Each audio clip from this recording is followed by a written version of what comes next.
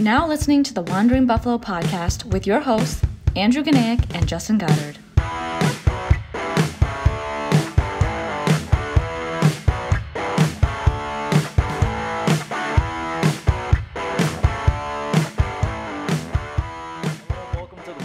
Buffalo podcast. My name is Andrew Ganaik, and alongside me is my co host, Justin Goddard. Thanks for tuning into tonight's episode. You can find us on social media platforms and on YouTube by searching the Wandering Buffalo podcast.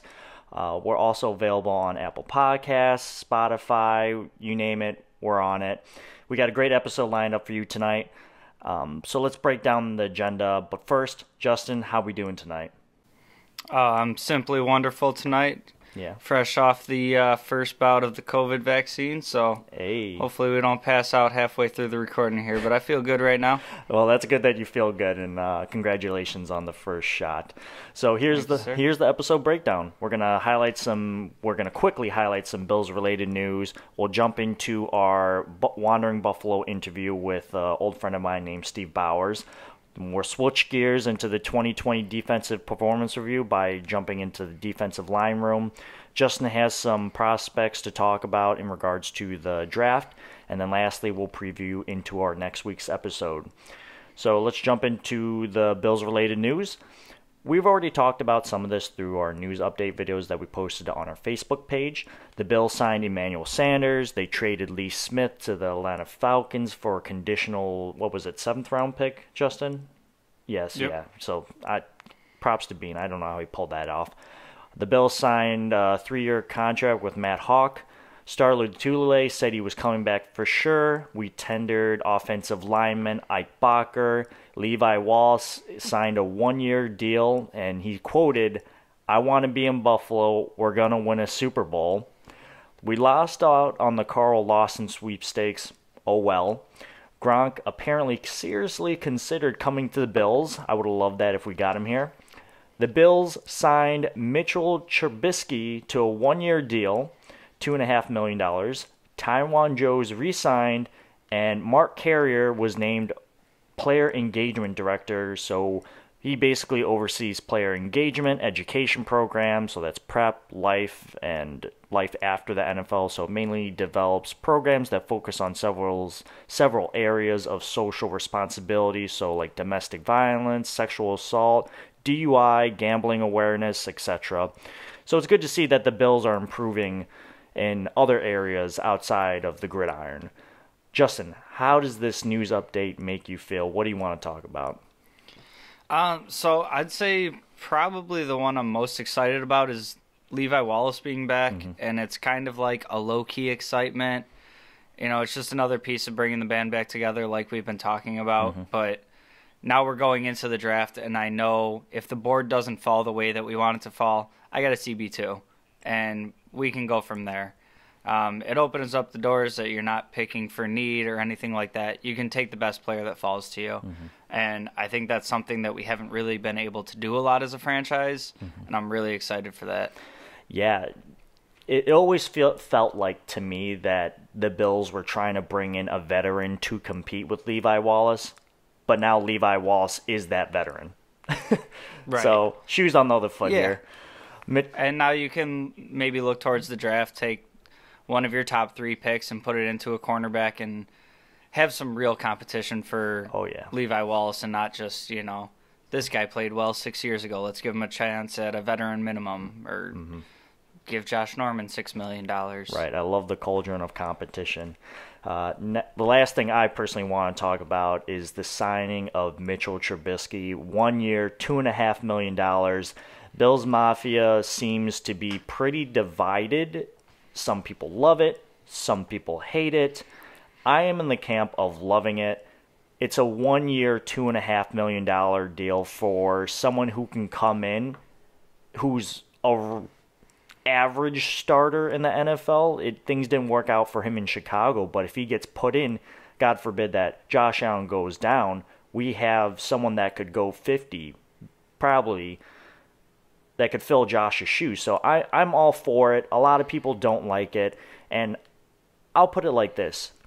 The Eagles had Nate Sudfeld Sudfield on their team for two million dollars. and he he saw week 17 for like a quarter.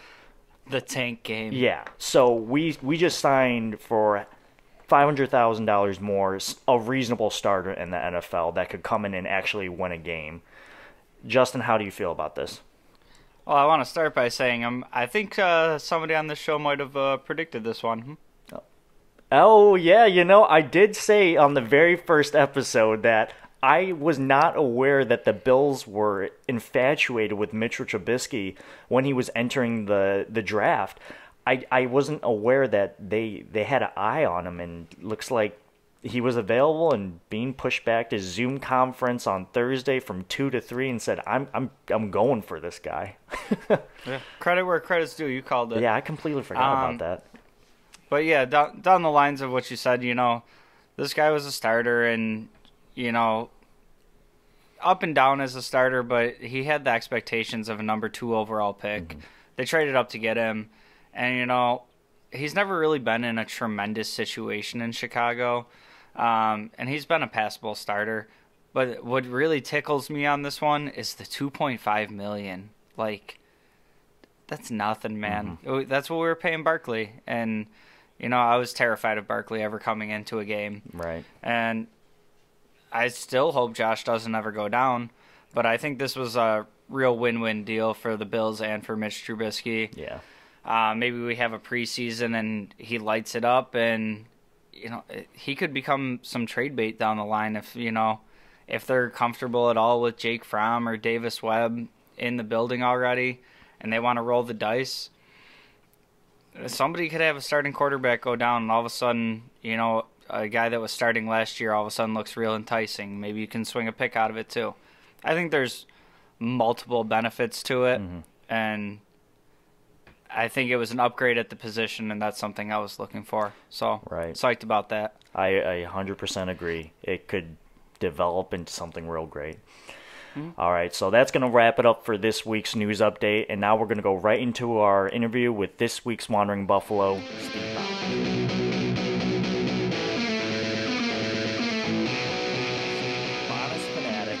current active duty sailorman and old friend Steve Bowers.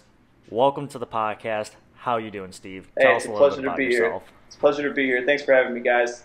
This is great. Absolutely. I'm having this is a blast. I love it so far. Yeah, so tell us a little bit about yourself. Where you're from? Where are you now? Give us give the people a little uh, introduction into who you are. Yeah, so uh, I'm originally from Rochester, New York. Uh, diehard Bills fan, obviously. Um, I went to Gates Chili High School, graduated in 2011. Uh, so go Spartans. Okay. They're trash, but whatever. Uh, anyway, uh, so uh, yeah, so I graduated Gates, uh, but now I'm living here in uh, uh, Callahan, Florida, which is about 45 minutes to an hour north of Jacksonville.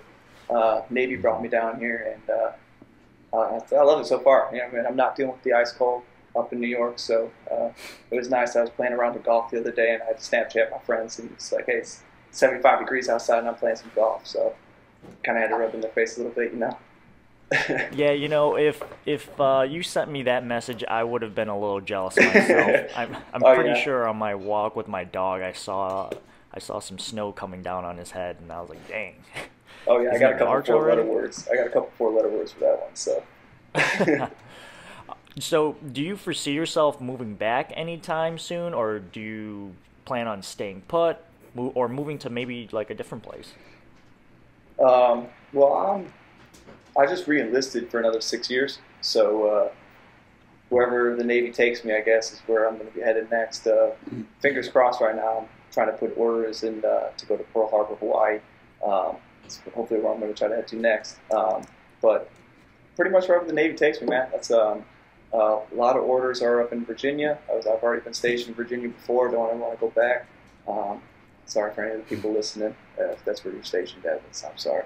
Um, but uh, and uh, but anywhere like San Diego, California, uh, uh, Bremerton, Washington, Groton, Connecticut. So, um, but for right now, I'm pretty content with uh, Jacksonville, Florida.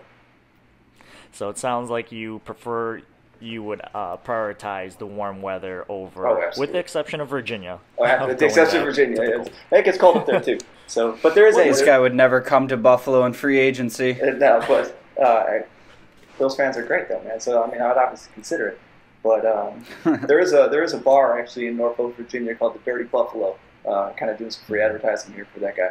But um, there's a bar that actually sells uh, garbage plates in Labatt Blue. So uh, Hey. I went there every Sunday when I was up in Virginia. So that's for sure. Yeah. Hey, if you did get uh, kicked back to Virginia, at least you got that to look for. That's right. That's right. And I understand that you're not alone, correct? You're living with someone. Yeah, I'm, I'm living with my girlfriend right now uh, here in Florida. Perfect. course well, my I think dog, Justin's so. got. of course, and uh, it's. Uh, I think Justin's got a good question for you in regards So, to that. uh, is your so your girlfriend's a pretty big Bills fan too? Uh, well, because of me, yeah. Uh, I'll take a lot of credit for that one. Uh, So who's a bigger Bills fan, you or her? ooh, uh, well, it depends. Uh, I'm definitely a bigger Bills fan, but I think she's she's more of a Josh Allen fan herself. So she she loves her Josh Allen. I got her a Josh Allen jersey and everything like that, so she loves it. And that's uh, it was kind of weird though because I, I bought that jersey for her uh, the week after the Raven, but we beat the Ravens, and I didn't let her wear it. So don't, don't blame me on the, the loss of Kansas City because she didn't wear it uh, when they played the Chiefs. But I told her she, she wasn't allowed. So she hasn't actually worn the jersey yet because hasn't had an opportunity. You know, Steve, I kind of want to blame you for it because she Oh, didn't put it on. Well, you know, like I, I'm a superstitious person myself, so uh, I, I didn't want to run that risk. That like, hey, we just had these two great games against the Colts and the Ravens. Like, uh, I don't want to, I don't want to jinx it. So, uh, so I, I bought her this jersey on, on Fanatics because she's like, oh, she loves Josh Allen and she thinks he's handsome. So, uh, so that's. but, so I personally got the superstitiousness too. I, I wore the same jersey every every game this year. me too. I'm, I, I wear this exact thing I'm wearing right now. The only thing I'm missing right now are my Zubaz. So. Uh, Plus the pregame shotguns, you know. That's plus the pregame shotguns. That's right. I always got to listen to uh, uh, WGR 550 while I'm in the shower drinking a couple full of that, so uh, to, to get me prepped up for the game. You got another question for him, Justin? Yeah, so is it like a, a Hallmark movie? You guys met over the Bills and the rest is history, or how'd you guys uh, end up getting getting together there? You know, uh, the Bills really didn't have a whole lot to do with it. I'll be honest with you. Um, they're just typical, you know, out of the box type thing. Just um, that's how we met. So, um, but yeah, they uh, the Bills like didn't have much to do with it. And she, I, I was a diehard Bills fan, and she knew that because I told her. Um, and because of course, every diehard Bills fan's got to tell every diehard, you know, anybody that you know, I'm, I am a huge Bills fan. You know that? So, cool. Um, but anyway, uh, so yeah, it was. Uh, had nothing to do with the Bills, but uh, definitely like the Bills are now like this big part of it uh, because she's always like scrolling through her Facebook and she'll like, "Hey," she actually told me today. She's like, "Hey, you know the Bills signed Emmanuel Sanders?" It's like, "What? Like the Bills signed Emmanuel Sanders?" Sorry if I just put some breaking news out into your podcast for you, but. Um, but yeah, it's like, oh my god, the Bills signed Emmanuel Sanders, and she was like also saying, she's like, oh, they just re-signed Matt Milano. So like, she's definitely super into it now too. So uh, which is great. Which is Right. great. So it's a, it's a lot of fun to be able to have someone to, to just sit there and talk sports about. You know, just have a good time. So So, right. So it sounds like you played a big part of influencing her- her to become a Bills fan. Is that correct? Uh, yeah, she actually told me she's like, I'm not going to be a fan of any team, and I was like, ah, I'm telling you, you're going to be a Bills fan because it's just going to just rubs off on people. So everywhere I go, it just rubs off on people. So Right. So, who influenced you to become a Bills fan? That's a great question. Um, well, I, I, a lot of it kind of goes into probably my family. Uh, my dad used to have season tickets when I was a kid back in the, the J.P. Losman days, or probably the Drew, Bledsoe era, even days. Um, like I remember seeing the uh, the Bills play Michael Vick and Warrick Dunn, and uh, was it Warrick Dunn? I think it was Warrick Dunn. Um, but either way, Warrick Dunn ran for like 200 yards, and Michael Vick ran for like 200 yards, and like it was just an embarrassing game to be at. Um, but like that, that's the era I kind of grew up in, right? So, um, I'd say my dad had a huge influence on me, um, and then my other one, probably like my uncle Rip, which is my mom's brother. Uh, he had a big implant impact on me. Uh, I remember going to, he he was. Uh, my mom grew up in Buffalo, so we would go to Buffalo to watch all the games and everything. And uh, I know there's like a picture of me like in my Zubaz, and this is actually in the '90s, so like Zubaz were actually in style, not just like Bills fan attire. It was like an actual thing to wear. They still are. Uh, but uh, yeah, it's me like watching the Bills game with my uncle. So like th- those two people are probably my biggest uh, proponents for, for being a Bills fan, being a Bills fan I am. Um, I do like to joke that my dad's like I say all the time that my dad's single proudest moment of me were my first words uh, because my first words were touchdown Jim Kelly, and uh, it was like during the Mm. Bills Super Bowl runs in the early '90s. And so after that, like everything didn't matter about me playing baseball or anything in high school, or me, you know, pitching a shutout in summer league ball or whatever, you know, uh, running, you know, a sub five minute mile in cross country. It was the fact my first words were a touchdown Jimmy Kelly. Your You set the bi- bar That high. set the bar high early. early, right? Exactly. your actual first words were touchdown Jim Kelly. Hundred percent. Yeah, that's like, and it's one of my proudest moments Wow. too. So I like to joke about that. So that's why I'm wearing a Jim Kelly jersey Wow. today, man. So If that isn't influential, I don't know what is. They basically spawned you yeah, in the gauntlet of Zubaz and blue lights. That you Oh, yeah. are Bill. You are definitely a oh, Bills absolutely. fan. Um, and I know I- you're a little I- away from I'm the- home, so I, You I right. I know you are a little away from home, so I think right. So I think Justin's got a question about your home life compared uh, to where you are now. Yeah, so you're uh, so you're down there in Florida now. So what's it like being a Bills fan down in Florida? you you the only guy down there, so you got to hide in your house on Sundays, or you got you got some spots you go, a couple Bills backer bars. uh, COVID kind of ruined that. So uh, didn't- haven't gone to too many Bills backer bars in a long time. I used to go out because uh, this was before I had Sunday ticket or anything like that, so I couldn't watch the game from my house. So I had to go find a bar to watch it. Um, and I'm, I'm telling you, man, anywhere you go, you're gonna find Bills fans. They're they're they're everywhere. I, I was out uh, not too long ago just getting a burger, and uh, someone walked up with a Doug Flutie jersey on it like a Tuesday in the middle of summer. So or not summer, but like early spring. So it's like anywhere you go, you're gonna find Bills fans. Um, I got one person. I almost cussed them out because uh, they cut me off on uh, on my way to work, and this dude just sped up in front of me, cut me off, slowed down, and I saw that he had a West Herb license plate, and then like he got out of the way, and I passed him, and I kind of looked at him, and he had a Bills hat on, and he saw my Bills sticker on the back of my Jeep, and so he just gave me this big thumbs up, like "Go Bills!" And it's like, damn, dude, you almost just caused a wreck to tell me "Go Bills," but all right, yeah, go Bills, man. I'm about it. Go Bills. We'll let it go. So You'll- um, You'll let it slide. we're everywhere. Oh yeah, of course I let it slide. Um, but yeah, we're, we're everywhere, man, uh, and it's great. Like um, being down here in Jacksonville, having a, an NFL team um, that just just gets owned by another fan base that's a thousand miles away.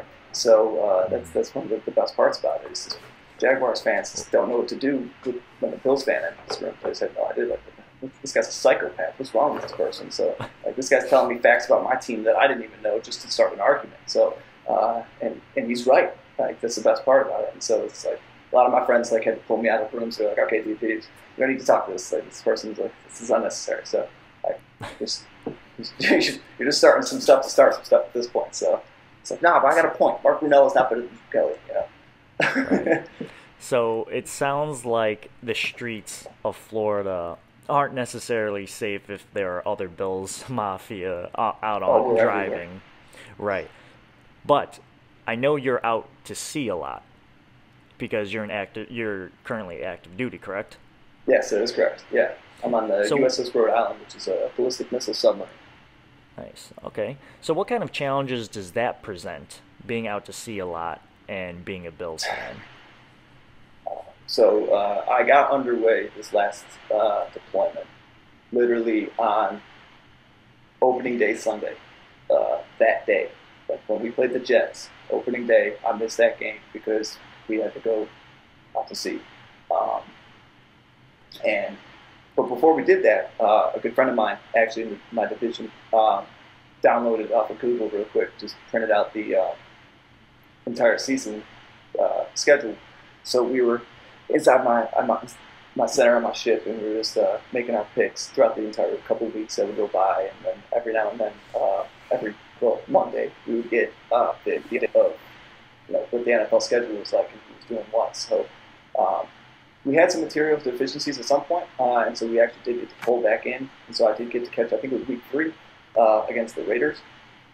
Uh, I got to catch that game, which I was like, and uh, I got to watch that in crew's mess on my ship uh, like I wasn't allowed to leave my ship or anything. Like I was, so I sat there and I watched it uh, on someone's Hulu, and I put it on the TV there everything. I was just sitting there. I was the only person there, and then all of a sudden, like I got this huge gathering behind me. Because like, "Why you watch the Bills game?" Like, yeah, of course I'm watching the Bills game. This is you know, you know me. I'm the only guy wearing a Bills hat. Like I wear Bills socks every time. You know, always weren't repping the Bills even out to sea.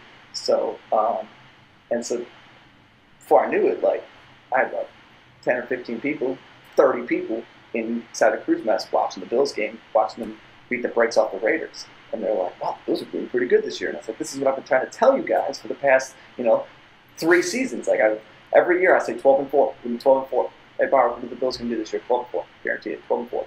I'm like, all right, we went 10 and 6. Uh, I think the year before that we were 9 and 7. But I said, yeah, we were 9 and 7, but we were like three plays away from being 12 and 4. I'm like, you talking about three plays away from being 12 and 4. So Josh Allen getting hurt, Nathan Peterman coming in, that's a big one. You know, there's things like that. Like, I, but anyway, not to, tangent. Um, so then we went out back to sea and everything, and uh, I didn't get end up getting back until week 15. Uh, when I, when I got, I think it was 15, 15 or 16, 15. Um, and that's when we played the New England Patriots. And so, um, but yeah, that entire time I was just getting messages saying like, "Hey, the Bills," you know. So and like sometimes I kind of had to decipher a message because they didn't explicitly say what the score was.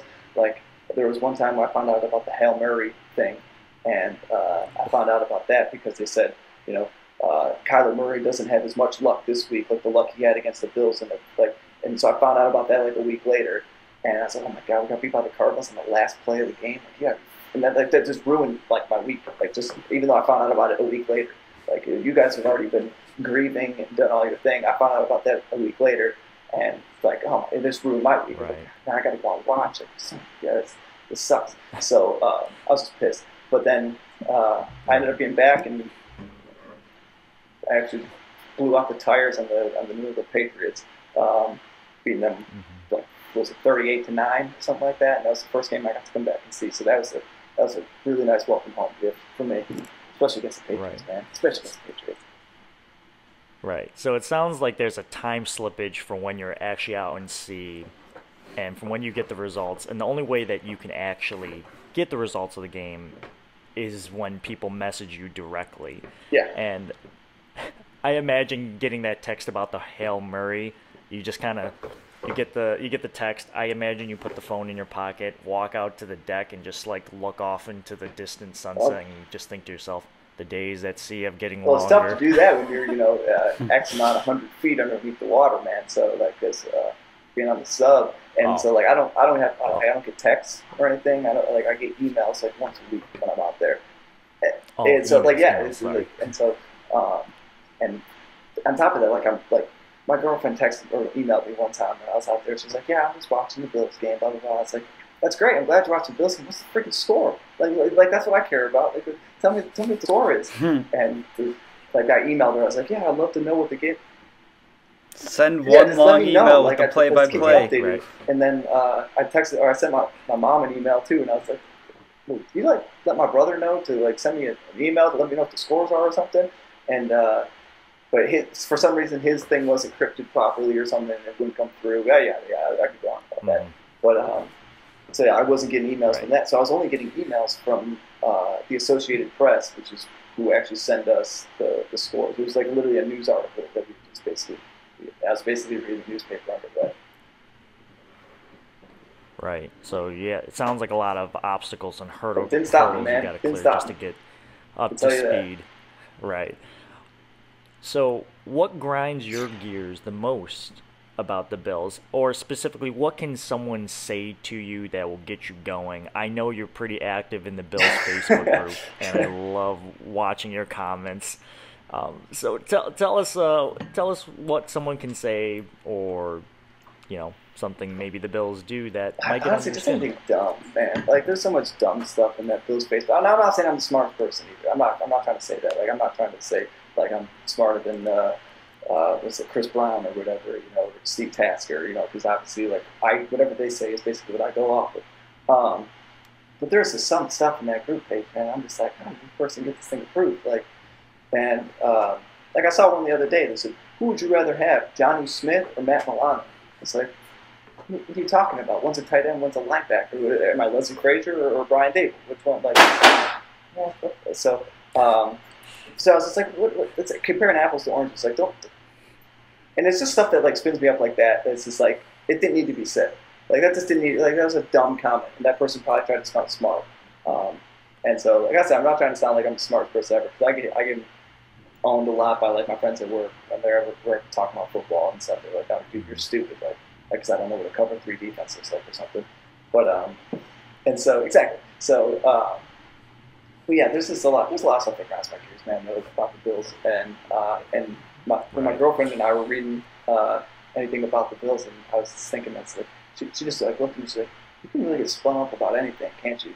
When it comes to the Bills, it's like I stop talking about the Bills. Like it's really what it boils down to. Like I, I could just go on and on and on and on about talking uh, talking sports. So um, funny quick thing. Um, if you look through like my, this is where she like sparked that was she was looking through my text messages. That's, that's what women do.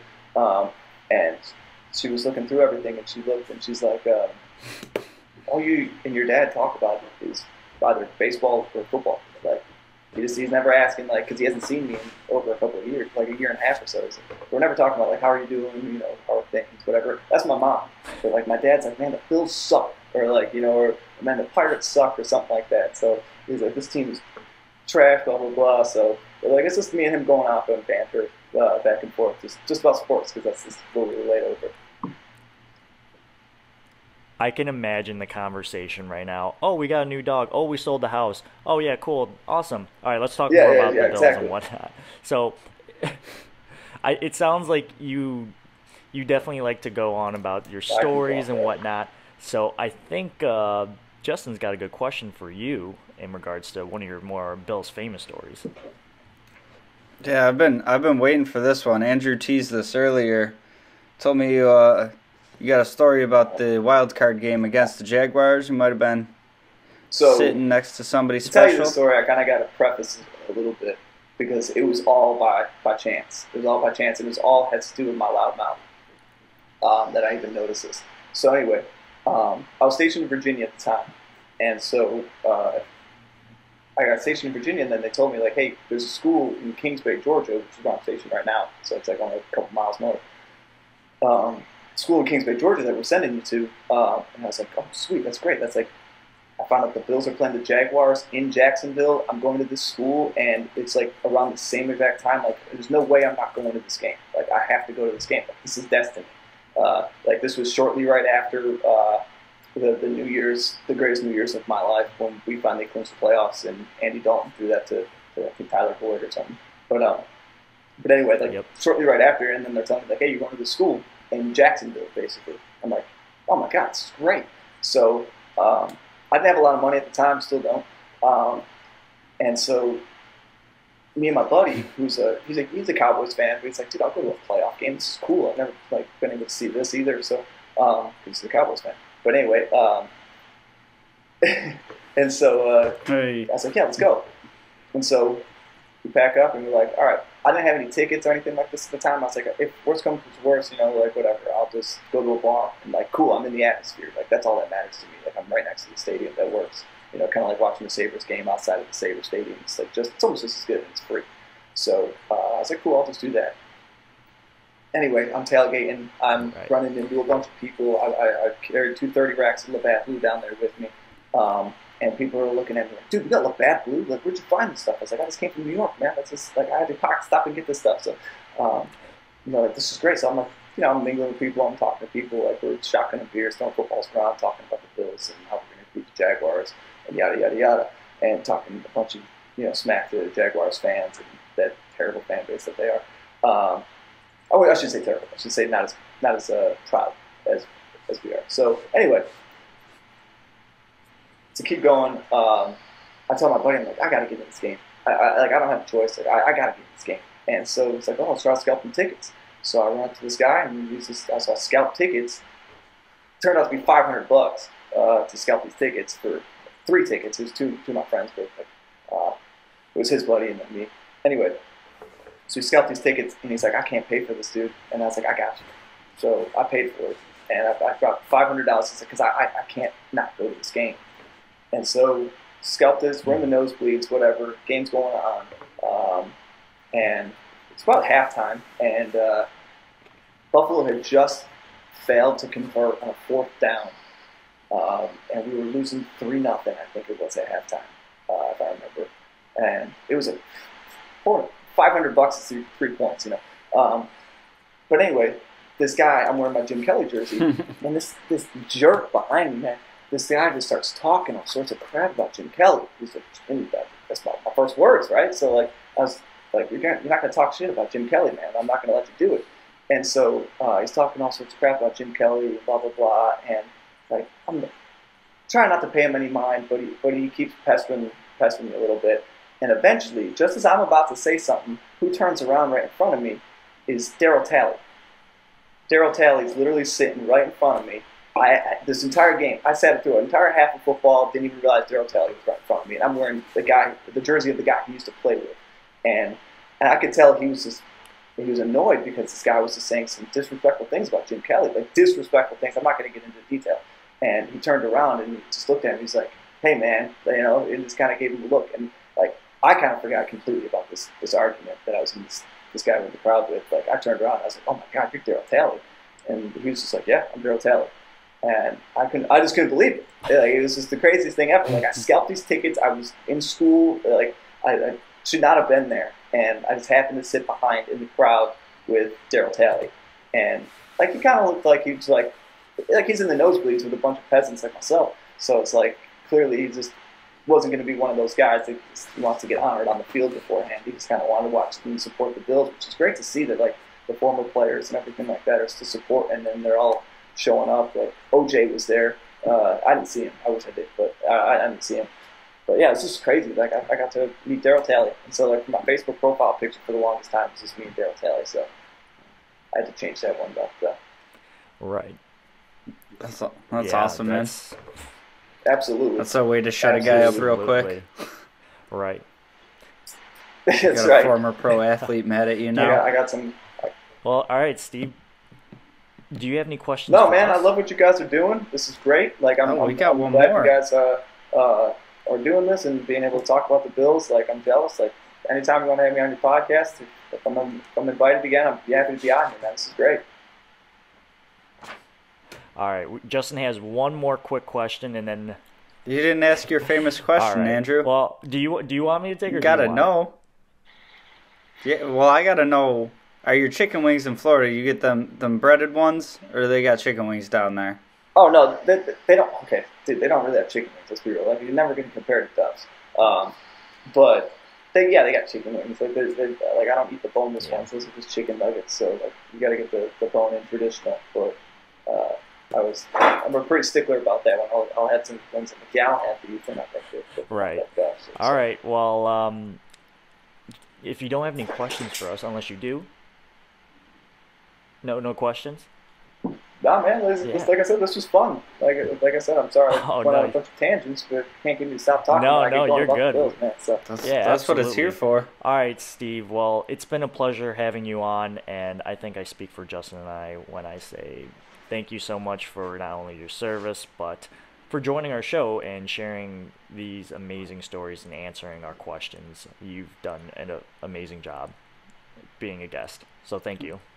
Well, I appreciate it. I, thanks you for having me. I really appreciate it. It was a blast. And like I said, I'm happy to do this anytime. Great. This is great. Mm-hmm. Go Thanks for your service, man. I appreciate it. Hey, go Go Bills. Bills. If you'd like to join our show, you can email us at the Wandering Buffalo Podcast or give us a DM on social media by searching the Wandering Buffalo Podcast. We're going to take a quick break and we'll be right back.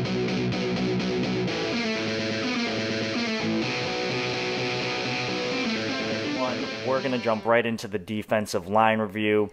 Right off the bat, all I can think about the defensive line and Sean McDermott and Leslie Frazier is rotation, rotation, rotation. Did it work? I'm going to go ahead and say kind of, not really, I guess. The run defense needed some it needed some milk as you know my friends and I would like to say. Uh, the defensive line couldn't keep the linebackers clean, so it was hard for our, the defen uh, the running backs to defend the, against the run. So, without further ado, let's just jump into the defensive ends first. We'll start with Jerry Hughes, old reliable, the last remaining member from the cold front.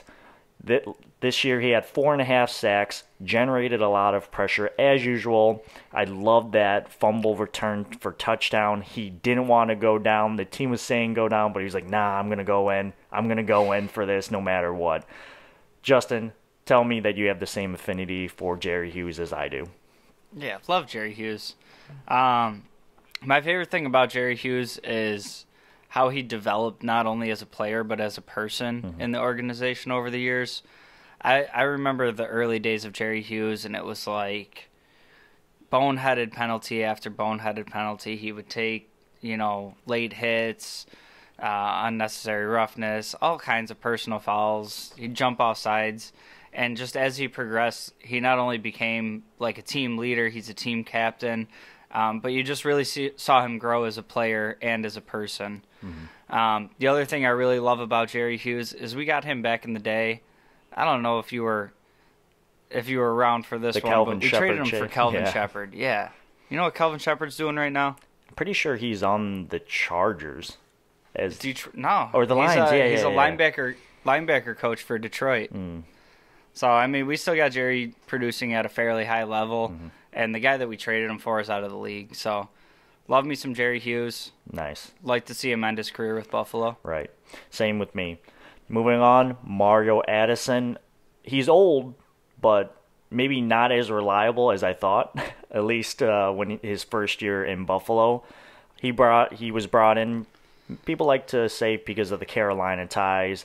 Beane loves him. He loves to mention that he found him. I believe he was on the Washington football team's practice squad, and then he scooped him up from there. He had five sacks maybe he just had a down year. I know he had previous multiple double digit sacks sack years, so that maybe maybe it was just a down year. I expect more. I expected more from this signing when it first happened. Although uh, he did restructure his deal, which is very cool, and I appreciate that. He's helping out the team. And when I think of the Hail Murray play, and I don't like talking about this, I just remember Mario Addison trying to go for the tackle instead of contain. And if you're going to look at anyone for the Hail Murray play, I'm not going to say it was Mario Addison, but you definitely didn't help by doing that. Justin, how do you feel about the the uh, Mario Addison? Uh, I feel like overall he had an okay year. Mm-hmm. Um, just at this stage in his career, like there there wasn't much flash there. Um, for the most part, I think he played pretty well with contain. Um, I think that the plan is probably to cut back on his rotation a little bit and work AJ Epinesa in. Mm-hmm. Um, but he's definitely somebody that I was looking to upgrade this offseason. Mm-hmm. Um, obviously, we had you know some cap restrictions. We were we were playing it pretty tight this year. Um, I'm willing to trot out Mario Addison again if it means we kept Daryl Williams and Mm-hmm. Matt Milano and Jon Feliciano. Right. You know, you you can't have a Pro Bowler at every position. Um, I I would like to see Epinesa take a step up and be able to, and we'll talk about him. Um, I'd like to see him be able to take some of that workload away from him, Mm-hmm. and you know, maybe after that, Mario Addison can go quietly into the night and no hard feelings. Thanks for the couple of years, but I think that's a spot that needs to be upgraded. Right. Speaking of AJ Epinesa, when the Bills originally picked him, I'm not going to lie, I hated the pick. The man did not perform well in the combine, actually, like, really poor. It just showed a lot of people and the scouts and draft analysts thought he was pretty unathletic, which hurt his draft stock so much that he fell to the Bills in the second round. Looking back, I can't actually believe he was there. He was a first round prospect. Although he did have a rough start to his career, the Bills wanted him to lose a lot of weight, but he lost too much. Had some penalty issues, got called off. I believe he got called offside, and I remember Sean McDermott was like, "Get him out." you could visibly hear him like read Right his back lips. to the bench, He's like. Get out, get out of here. Get out. He had a concussion at the start of the Arizona game, and we could have definitely used him in that, um, you know, hail mary situation. Started looking better towards the end of the season. I'm optimistic looking forward, but I don't think he's gonna blow up into you know a Yannick Ngakoue. He had one sack last year, but I am optimistic there is potential for him to grow. So Justin, tell me how you feel about AJ Epinesa. I think he had his moments in his rookie year. Um, so this guy kind of screams to me one of these Brandon Beane picks, where call it like a Dawson Knox pick, where he sees something in this guy, and I know when he's writing the name down on the draft card, he doesn't expect this guy to be an impact player in the next two, maybe three years. Um, but he's got that that it thing that Beane likes, and he's willing to wait on some of these guys to get them in in spots where other teams might not wait for it. Um, he likes a little bit of a little bit of the bend on the edge for me um, to be, you know, that Joey Bosa game wrecker. Um, but I think kind of the way kind of the way the um, pass rushing is going in the NFL, it's not so much about that fast, twitchy guy off the edge anymore. It's starting to go more towards the consistent collapsing the pocket and everybody being in their zone, so the quarterback has to step up into the pocket, and then you get that interior D line pressure. These quarterbacks are getting rid of the ball in like 2.2 seconds. So you know, regardless of how fast you are, you know, it, it's more about collapsing upon them, and I think that's something that he'll be able to develop into. Right. Uh, moving on to Trent Murphy. I personally think the Bills should have cut him, but hindsight is 2020. McDermott, as I mentioned, loves rotation, and that's why he stayed, in my personal opinion. He became a healthy scratch for a while, but he did play well in the divisional round against the Ravens. He had two sacks. Justin, how do you feel about Trent Murphy? I couldn't agree with you more, and I think being at McDermott, I, I think they even mentioned it, but I think they'd be honest and say like you know, knowing the COVID situation, uh, everything as it stands now, I think it's somebody that they would have, they would have cut last year. It would have been nice to have that cap number. Um, he was kind of like a a luxury veteran, so you didn't have to put Epinesa right in and expect the world from him. Um, by the end of the season, you know, he he had his moments. He had decent games, whatever. But same boat as you. I think if uh, all things considered, if if they knew what they knew now, he wouldn't have been on the team last year. So I'm I'm fine with him being gone. He he wasn't really in, impressive in his tenure with the Bills. Right. Moving on, Daryl Johnson. I loved his special team development. He always contributes. Not so much on his defensive end development. Didn't really seem like he got on the field too much. He had one sack last year. I like him and think he can get better, but time is running out. Justin, tell me how you feel about Daryl Johnson. Um, I would like to see a little bit more development out of him to be kind of a, a rotational player at the defensive end spot. Um, but his special teams alone, that's enough to. It's a Ty- Taiwan Jones right there. You know, he's he's a running back in name only, um, but that dude's made a whole career out of being good at special teams. And I think that's kind of what we have in Daryl Johnson right now, whether he develops or not. Um, I would like to see more out of him uh, in the defensive end rotation because he has all the physical tools. But as long as he's costing me next to nothing and he's making plays on special teams, anything he does in addition to that is a bonus to me. Right. Last two guys, Brian Cox Jr., Mike Love. Brian, uh, both guys are practice squads. We'll see with Brian Cox Jr. and Mike Love. I actually like Mike Love. He's been around the team for a little bit. Not sure if he'll ever catch traction. He just keep, seems to be keep getting pushed down the depth chart, especially when the Bills brought in AJ Epinesa. But I don't think Trent Murphy's coming back, so maybe Mike Love goes up. Justin, let's quickly wrap this up. Uh, Mike Love is uh, one of those training camp hero guys. He always performs really well in the off season. Both those guys for me are kind of on that bottom end of the roster. That's Brandon Beane loves tinkering with those bottom mm. three, four spots on the roster. If he if he thinks he can get any advantage from bringing somebody else in, mm-hmm. he'll do it. So I think those guys really have an uphill battle to make any sort of impact on the team. All right, let's shift to the interior defensive line, starting off with Ed Oliver. I love Ed Oliver. People were calling him the next Aaron Donald, which I I don't really know if that's fair.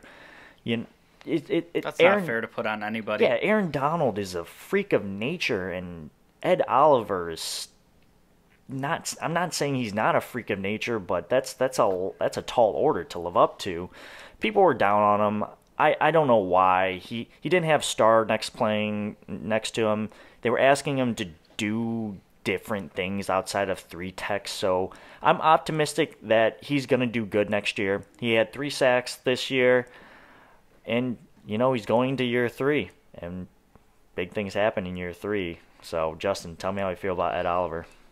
Yeah, I, I love the guy. Um, same as you said, I I really want to see him playing next to Star. Kind of. His first year was a little bit rough, um, but his second year he was supposed to be playing next to Star, and that's you know hit, where we expected him to be playing. Um, a lot of people are saying like, well, he played the nose tackle in college, so he should have been fine with it. The NFL is a whole different ball game. Mm-hmm. Um, you know, you're asking somebody that's like 70 pounds less than Star Lotulelei to eat up double blocks all the time. Mm-hmm. Like, it's just not his game. And I think, honestly, I think he did a pretty commendable job at playing out of position like that. Mm-hmm. And I just kind of want to see him freed up this year and work those one on one battles and hit him with the rip move and just get into the backfield and wreak some havoc. I think he could be special this year. Yeah, I'm really looking forward to Ed Oliver. Moving on, Vernon Butler. Meh. Could have could have You were the wrong son. could have swore he was going to get cut, but he ended up helping the team out by restructuring his deal. Again, pretty cool. He's too inconsistent for my liking. Again, he has those Carolina ties, which a lot of Bills fans love to harp on for whatever reason. I don't really think having Carolina ties ties are a bad thing so far since that has been introduced. We made it to the AFC Championship game, if I'm not mistaken. Vernon Butler, zero sacks. Justin, tell me how you feel about him. I, I wanted him to be Jefferson. Well, I wanted Quinton Jefferson to stay. Now, I I think this is kind of like the the Trent Murphy move last year. I think he kind of took a pay cut to stay around, and you're gonna kind of be a depth rotation piece with, you know, getting Star back. Um, Harrison Phillips is getting a little healthier. Justin Zimmer flashed. I think he's kind of like you know in the mix, but I don't think he's going to have the same role cut out for him going into next year, which is fine by me. Um, I thought Quinton Jefferson played better last year. Who knows if they offered him a pay cut first and he said no thank you, so they kind of took the consolation prize, mm-hmm. but he's back. We'll see what happens. right. Harrison Phillips, aka Horrible Harry, but more like Healthy Scratch Harry when it came to the the season. Didn't have a hot, hot start to the season. Did do a little better towards the end. Clearly didn't fill Star's shoes like we all had hoped. He had zero sacks. I love the off-field work that he does. I am optimistic with him moving forward, but we'll see what happens. Justin, how do you feel? Yeah, he. I loved him in his rookie year. Uh, seeing him with Kyle Williams, he even kind of looks like him. It looked like his older brother was mentoring him. and he's a big boy coming off an ACL. Um, His second, and too. Yeah, and kind of, you know, he started coming on at the end of the season. We do need more out of him. It's probably a make or break year for him. Um, but I think something we're going to keep getting back to here is we keep talking about people trying to fill that Star Lotulelei role. And it's not an easy job to do, and there's not a lot of those guys in the NFL.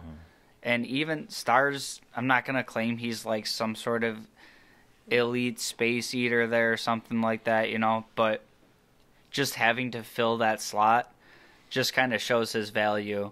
So I think Harrison Phillips is another kind of guy that can value from Star Lotulelei coming back, so there there's not so much on his plate, and he can kind of go back to playing a little freer versus trying to fill that one specific role. That's a very hard role to fill. Right. Next up, Justin Zimmer. I love this guy. Single. He's got a great name. Right. Single handedly won us the Pats game. Right when we needed help with the defensive line, this man comes in and literally wins us the game. Forces that fumble out of Cam Newton. He's got a high motor, high effort, and he's very fast. I think I, I believe he was clocked going 18 plus miles per hour at one point, which is insane. So I, I, I want to know what his 40 time is. I don't know offhand. He had one sack last year, and that's that's one more sack than Harrison or Vernon Butler had. So Justin, how do you feel about my, about my man Justin Zimmer? This dude's got some great juice. Oh yeah. He he's got that motor that doesn't stop, and what he lacks in natural skill and all all those things, he makes up for in effort. And sometimes you just need an effort guy on the field. Mm-hmm. You know, you can have these super fast, physical, awesome first round prospects that when the play gets 20 yards away from them, they gave up. And that was the New England play you're talking about. You know, this was Cam Newton was running 12, 15 yards down the field. Justin Zimmer was the last person in the world I thought was going to come haul ass and down this from the side of the Right. back of the screen, from the outside of the play to make that play. Mm-hmm. So I love an effort guy like that. Hopefully he gets a little bit more playing time. I'd like to see what he can do with a little bit of a bigger role. Right. Last up, Star Lotulelei. He opted out of the Bills playoff run, well, just the season in general, and we definitely could have used him. However, I believe Matthew Fairburn reported that Star Lotulelei will play this next season, so that's big. The the defensive line, interior defensive line, just got some help, but I wanna I want to caution Bills Ma- Mafia. If he comes back, it doesn't automatically mean that our run defense and defensive line woes are over. You got to remember the Bills' run defense was still a problem last year, and it was a teams were exposing it as the season went on. He's also uncuttable. It would actually cost us money if we got rid of him or if we or if he retired. So the only way that we can get Star off the books is if we trade him, which I don't foresee happening because we need help at five tech. Justin, tell me how you feel about Star Lotulelei. Yeah, I I was upset with this signing when we made it. I thought we overpaid for him. Um, after seeing after seeing the team without him last year, you know, Brandon Beane's always putting these puzzle pieces together in his head and how they're going to develop together and how they're going to fit. And you just you tried to finish a puzzle last year without one of the pieces in there. So again, like like you said, it's it's not like that one guy is going to fix it, put a band-aid over everything that was wrong last year. But I think a lot of the problems can point towards well, this is the piece that we were missing. You know, our linebackers weren't very effective in the run game because they weren't being kept clean.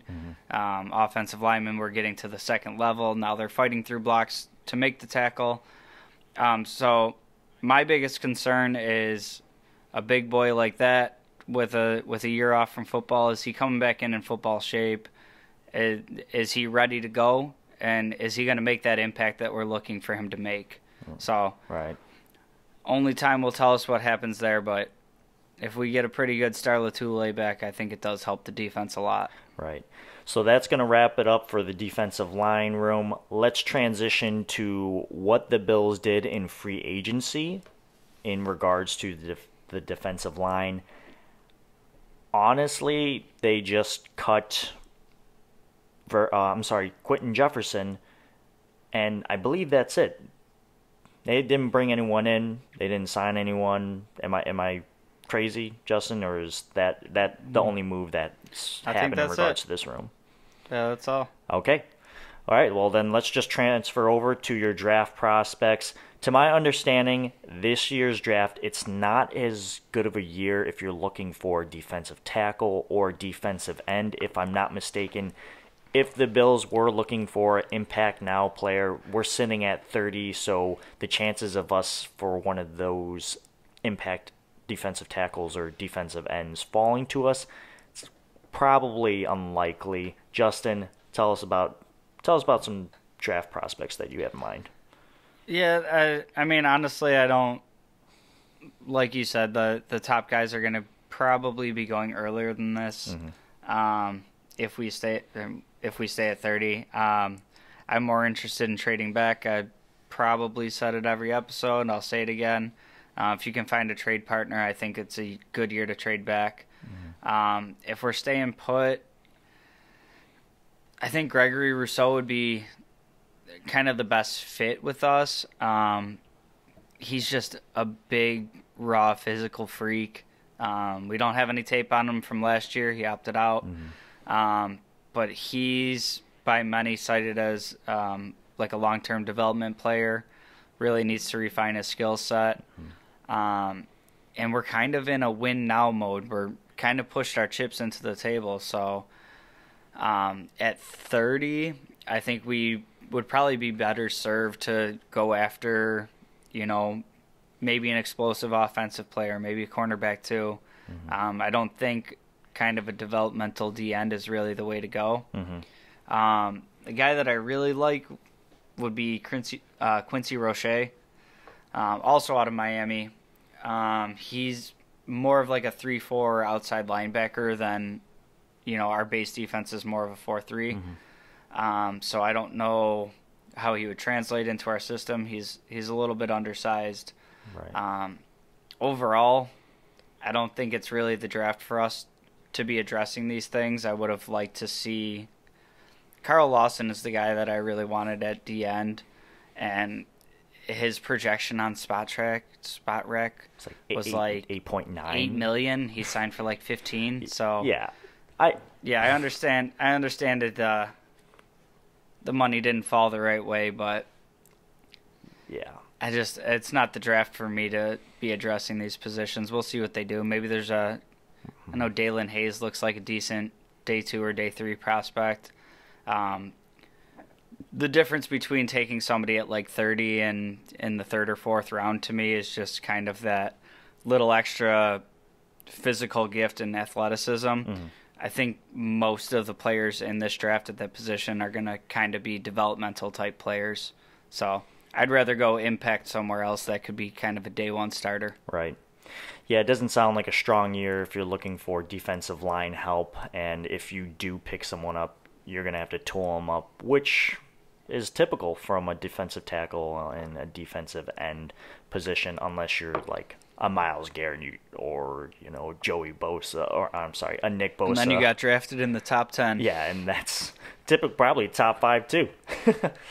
yeah. All right. Well, that's gonna wrap it up for this week's episode. Next week we're gonna focus in on everything about the linebackers. If you're interested with joining our show, please reach out. We would love to have you on. Make sure to subscribe, rate, review. Justin, where can the people find you? And find me on all social medias at jgods22. Um, hit me up if you have any questions. If you ever want to get on the show, we're always looking for guests to come on in talk Bills. Absolutely. And you can find me on social media by searching Two Chiangs. It's great always to have you here, Justin. We'll see you next week. Go Bills.